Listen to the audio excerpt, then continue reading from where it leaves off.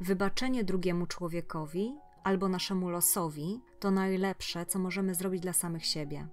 W szczególności, gdy spotkała nas jakaś krzywda, ktoś nas zranił, zawiódł, zrobił coś, co siedzi w nas głęboko i nie pozwala pójść dalej.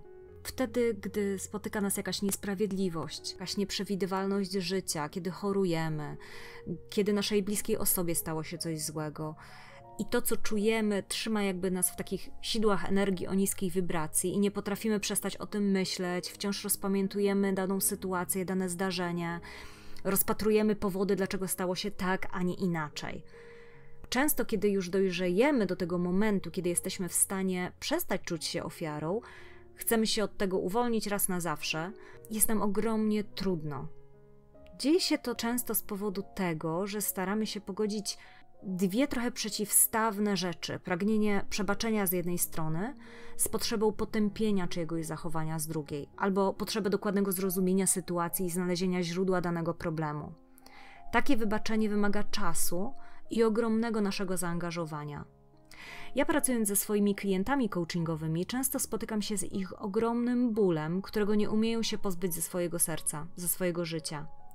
Dlatego dzisiaj przedstawiam Wam narzędzie, które pomaga pozbyć się roli ofiary i poradzić sobie ze zranieniem. To narzędzie nazywa się radykalne wybaczanie i ja je poznałam wiele lat temu na jednym z warsztatów, kiedy właśnie dowiedziałam się, że byłam chora na złośliwy nowotwór krwi i moje emocje z tym związane mnie po prostu przerastały.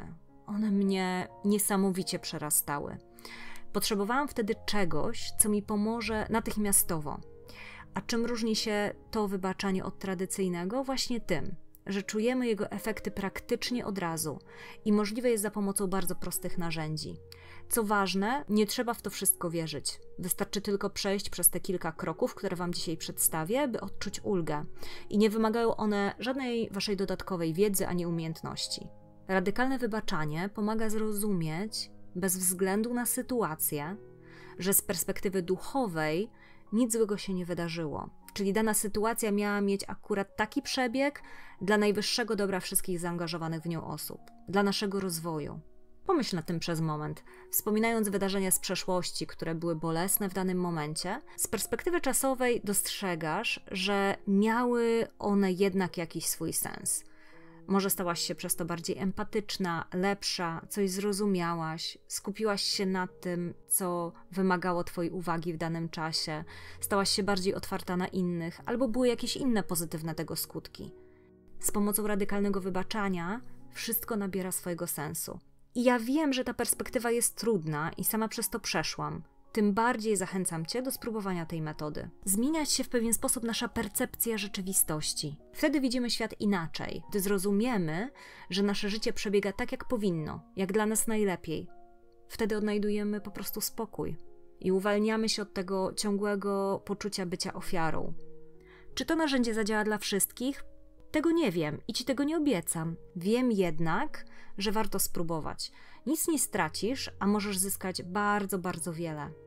Wiem również, że każde narzędzie, nawet te najprostsze, ale stosowane regularnie, działa. Dlatego polecam Ci słuchać to nagranie codziennie, najlepiej wieczorem, kiedy podsumowujesz swój dzień, by zmienić swoje podejście do tego, co zaszło w ciągu dnia. Dobrym czasem jest powrót do domu samochodem, albo na przykład moment przed położeniem się spać. Możesz go słuchać zresztą w każdym momencie, kiedy tylko poczujesz potrzebę poradzenia sobie z emocjami wynikającymi z trudnych sytuacji. Jeśli po miesiącu takiego stosowania nie zauważysz żadnej różnicy w swoim podejściu, szukaj innego narzędzia, które będzie dla ciebie bardziej skuteczne. Najwyraźniej to narzędzie nie jest wtedy dla ciebie. Ok, ważna jeszcze uwaga, zanim zaczniemy. Przedstawione przeze mnie narzędzie powstało na podstawie radykalnego wybaczenia Colina Tippinga, szczegółowo opisanego w jego książce. Nie jest dokładnym odwzorowaniem wszystkich jego kroków. Ja je zmodyfikowałam dla własnego użytku. Dlatego jeśli chcesz wiedzieć więcej o tej metodzie, przeczytaj książkę albo wybierz się na warsztaty prowadzone przez trenerów radykalnego wybaczania. Ok, teraz możemy zaczynać. Usiądź wygodnie, najlepiej tak, byś miała podparcie pod plecy. Zamknij oczy. No chyba, że prowadzisz samochód albo nie masz takiej możliwości. Rozkrzyżuj ręce i nogi i oddychaj swobodnie.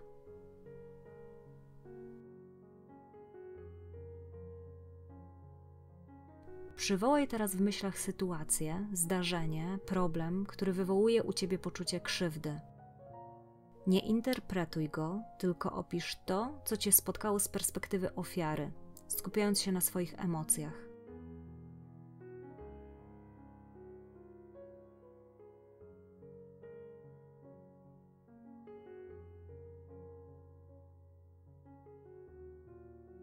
Poczuj w ciele pojawiające się emocje. Pozwól sobie je poczuć i nazwij je, co dokładnie czujesz.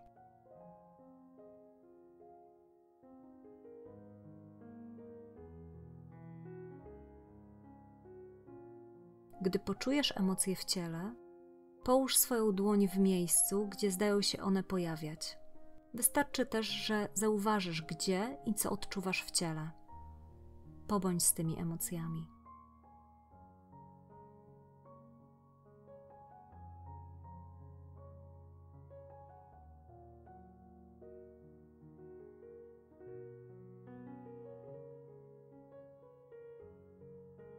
Odpowiedz teraz potakująco, najlepiej głośno, bo użycie głosu jest ważne w tym ćwiczeniu, na pytanie: czy jesteś gotowa dać swoim uczuciom pełną akceptację i pozwolić im przepływać swobodnie przez ciebie? Odpowiedz głośno tak, a jeśli nie możesz głośno, odpowiedz w myślach. Kiedy poczujesz nagły napływ emocji, pojawiające się łzy, nie hamuj ich. Twoje ciało w ten sposób się oczyszcza z tego, co ciężkie.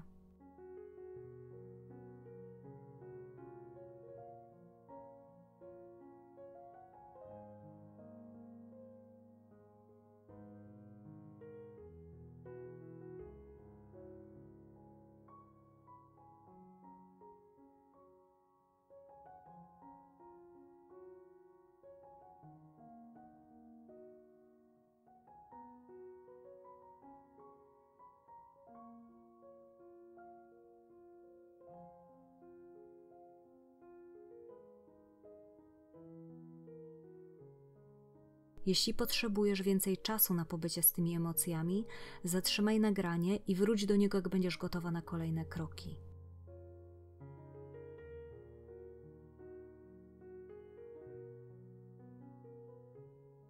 Teraz odpowiedz potakująco na kolejne pytanie. Czy jesteś gotowa przyjąć, że sytuacja, jakiej doświadczyłaś, może mieć jakiś głębszy sens, mimo że nie widzisz go teraz? I pojawiła się ona w Twoim życiu dla Twojego dobra w dłuższej perspektywie czasowej? Odpowiedz tak.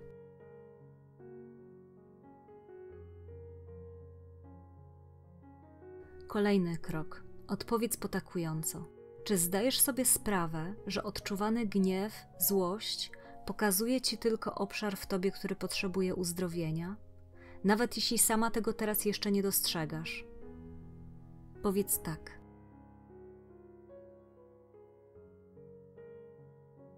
Czy jesteś gotowa zrezygnować z potrzeby osądzania danej sytuacji lub osoby w kategoriach ludzkiego dobra i zła, racji lub błędu?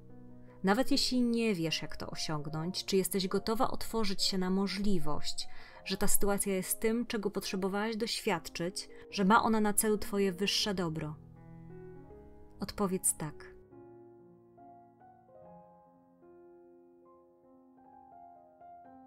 Kolejne pytanie.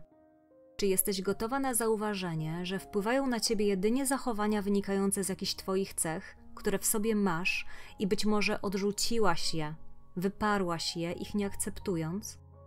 Że to, co cię złości u innych, odzwierciedla twoje cechy charakteru, które domagają się akceptacji? Powiedz tak.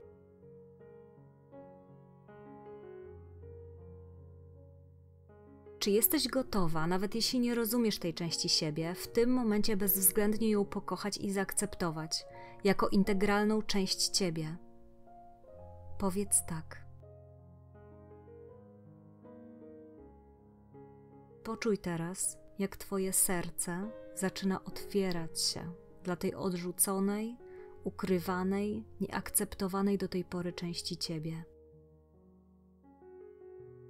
Każdy z nas ma swój cień i tylko go akceptując, odejmujemy mu moc kontrolowania nas i odzyskujemy swoją własną siłę.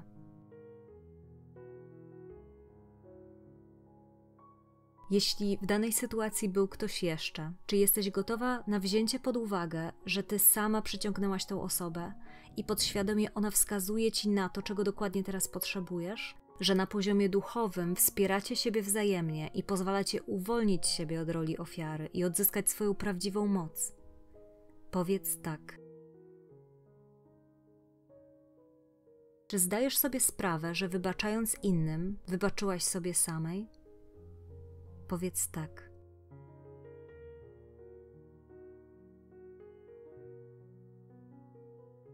Czy emocje, jakich doświadczyłaś na samym początku, zaczęły znikać? Czy zaczynasz dostrzegać, że ta sytuacja naprawdę zdarzyła się dla Twojego dobra? Powiedz tak. Czy myśli związane z uczuciami, które odczuwałaś na początku, utraciły już swoją moc? Może nawet trudno ci je teraz sobie przypomnieć. Jeżeli tak jest, potwierdź i powiedz tak. Wybaczaniu zawsze towarzyszy zmiana energii. Odcinamy się od tych wszystkich dramatów, wyolbrzymionych sytuacji i iluzji, które zasilaliśmy wcześniej swoją energią, swoimi myślami. Możemy teraz być kim naprawdę jesteśmy, czyli duszami żyjącymi w materialnym świecie, perfekcyjnymi takimi, jakimi jesteśmy. Gdy będziesz gotowa, otwórz oczy, bo proces uzdrawiania na poziomie duchowym już się dokonuje. Gratuluję Ci tego bardzo. Wszystkiego dobrego, dbaj o siebie. Do usłyszenia w kolejnym nagraniu.